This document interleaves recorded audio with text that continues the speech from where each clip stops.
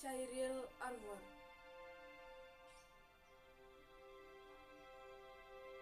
Kalau sampai waktuku Ku mau tak seorang kan merayu. Tidak juga kau.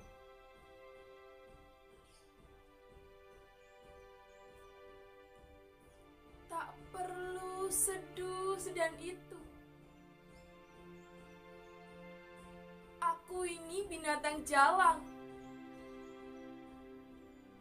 Dari kumpulannya terbuang. Biar peluru menembus kulitku. Aku tetap meradang Menerjang